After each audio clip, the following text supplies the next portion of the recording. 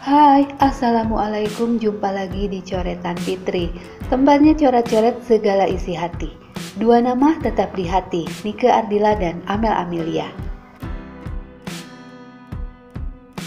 Aku mau ngucapin makasih banyak untuk kalian yang udah subscribe di channel ini ya. Untuk yang baru mampir jangan lupa tekan subscribe, like, komen, dan share-nya ya. Karena dukungan kalian sangat-sangat berarti buat aku Kalian suka ngerasa nggak sih kalau kita sering lihat videonya Amel, itu bukannya bosan, yang ada malah sering bolak-balik dilihat lagi, dilihat lagi. Hmm, asli merinding. Soalnya dapat banget dengan almarhumah Teknike Ardila. Seperti pertemuan Amel dengan Mbak Rara di podcast Ganjil Misteri. Ini pernah aku bahas di awal-awal aku bikin channel ini ya. Sekarang ingin aku bahas lagi karena aku suka banget dengan cara Mbak Rara menyampaikan pesannya dan ramalan tentang sosok Amel Amelia. Yuk kita sama-sama flashback lagi melihat cuplikan videonya. Uh, uh, apa dari fans Plot Nika Adila itu dia tuh uh, sekalian donasi di sana dan dia tuh uh, buka ramalan. Nah, di sana dia juga diramal umurnya pendek.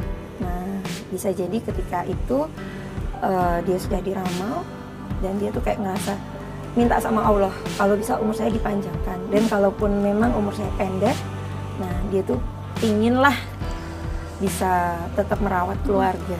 Jadi maaf biasanya orang kalau reinkarnasi itu ada dua e, merasa dijavu sering kayak ngerasa ketemu dengan orang-orang atau bisa mengingat kehidupan masa lalunya.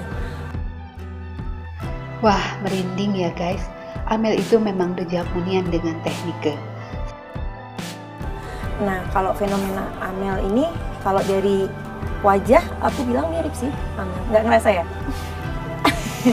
kan banyak tuh para pakar, ya. ya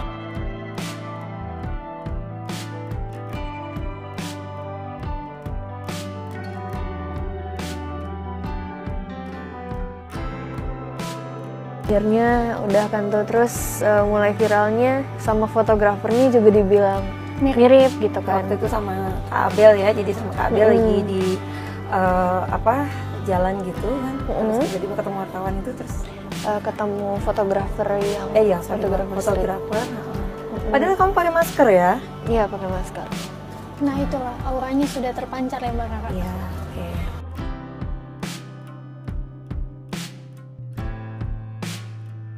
Selalu saja ada kemiripan yang di luar nalar kita sebagai manusia. Salah satu bentuk kebesaran Allah Subhanahu wa taala ya. Kemiripan mereka berdua. Al-Fatihah untuk almarhumah Teknik Ardila, sukses selalu untuk Amel Amelia. Oke, sampai di sini dulu coretan Fitri hari ini. Jumpa lagi di episode berikutnya. Salam laki.